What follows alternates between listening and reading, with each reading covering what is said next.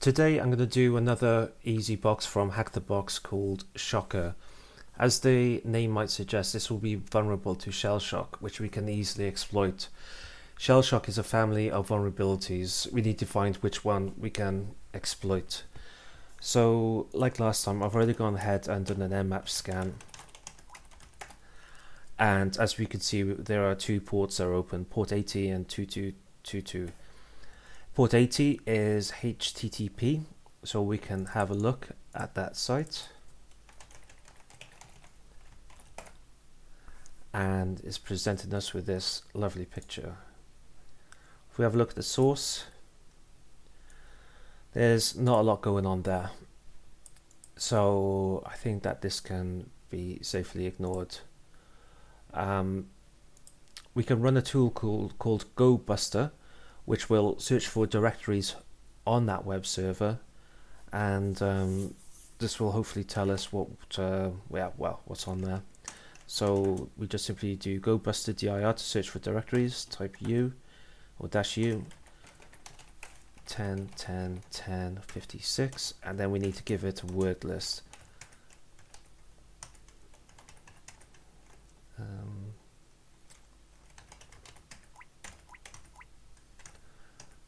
and then we use the common word list. This is quite a small word list, uh, but it has what we need in there.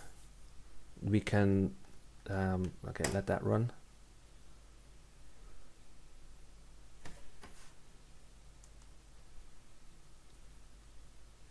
And it's found CGI bin here um, eh, with a 403 error. Well, status code. So if we have a look at the status, 403 is forbidden. So we don't so we can't go into that folder as CGI bin. Forbidden. Okay. So we have the CGI folder. We think it's shell shock. So let's search the internet.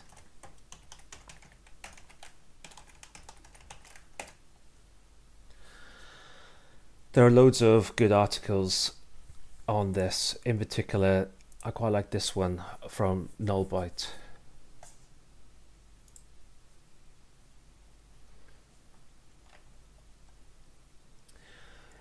Uh, it's just worth a read. Um, it just goes into yeah what what was all about and how to exploit it. So here he's configuring a target navigate to this particular folder and then create a simple script. In this case, he's used hello world and he's changed the uh, permissions on this as well. He goes to the website and he sees hello world. So here he's using the uh, Metasploit uh, framework and he's using this particular module here. So, but we need to find out what SH file is on this server within the CGI-bin folder. We could do another GoBuster looking for extensions, or we could do a wfuzz or, uh, to fuzz for this particular file. Um, so we'll use the same common word list, and this uses the dash w on HTTP 10 10 10 56 slash CGI.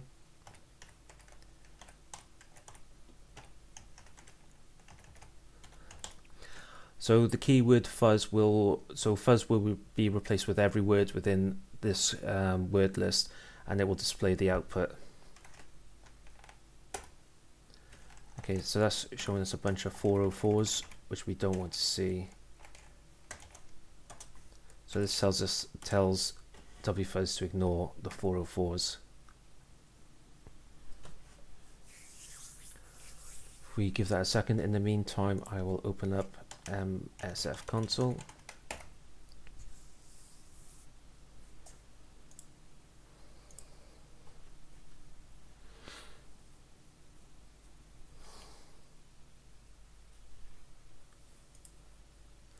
and it's found something called user. So we go to user.sh and this is a file if we were to open it.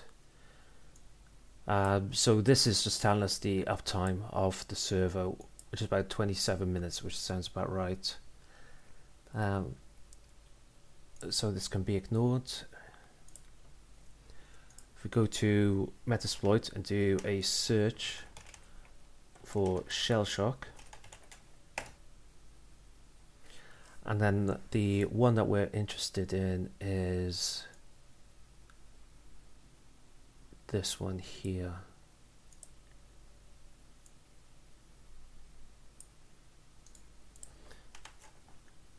because uh, this matches up with the website that we looked at before. We set up our R host.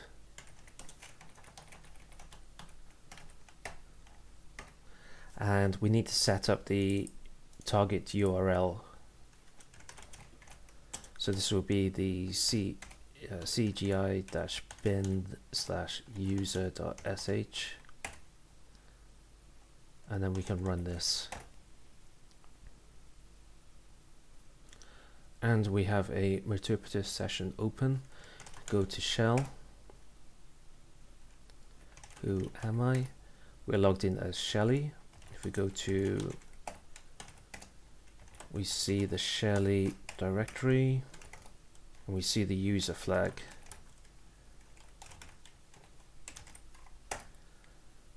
so that is the user. Now we need to um, get root.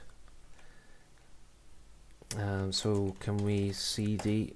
We can't cd into the root directory. Um, I'm going to stay using this Meterpreter session for now. Um, you can get a better um, a better shell, but for for this box, I think it's good enough. Um, so one of the first commands you want to do when you try to um, get into root is the sudo dash l.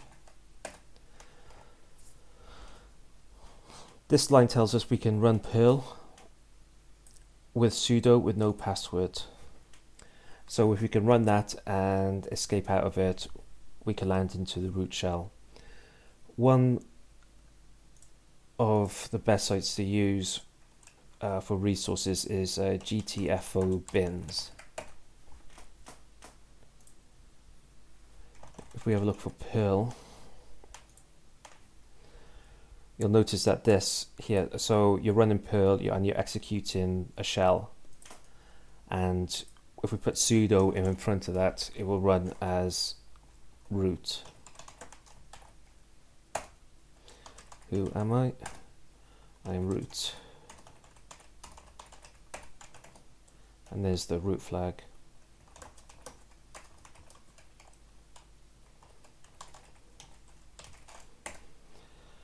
and 33 which is to be expected now that's using metasploit so if we didn't want to use metasploit there is another way um, we do have a CVE here which we can search on the internet for let's do that So yeah, this will give us uh, there's a boatload of information here. Yeah, Wikipedia. I recommend reading that.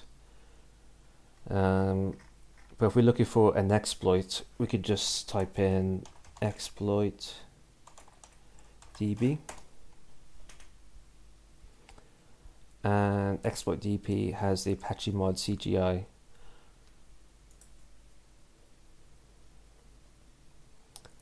and this is the exploit. Gives us examples and variables to use. So we'll take that. And I will paste it into here and I will save it here. Um, I will call it script dot python it is python yep. Exit out of that. Go here because I want to see the how to use it. So we need to set up a listening port.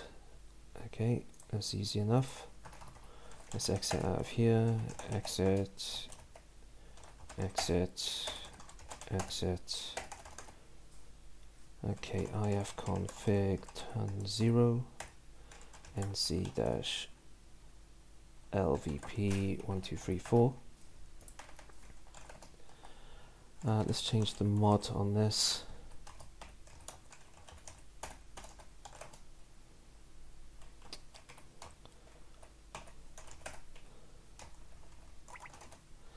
Okay, so we need to use the pages.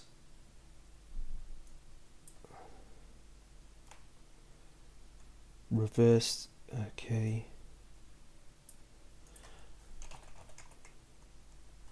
Payload equals reverse r host equals 10, 10, 10, 56.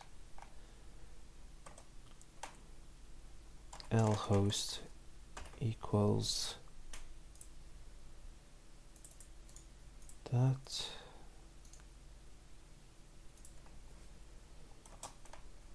L port equals 1234 and we need the pages which equals slash cgi dash bin user.sh let's see if this works. Uh, oh, I don't need to set up that. I think it does it automatically. Ah and there we go. And we are Shelly again sudo dash l. Run this command.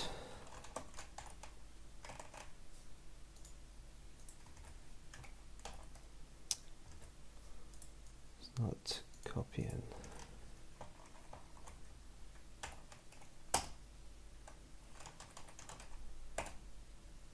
And there we go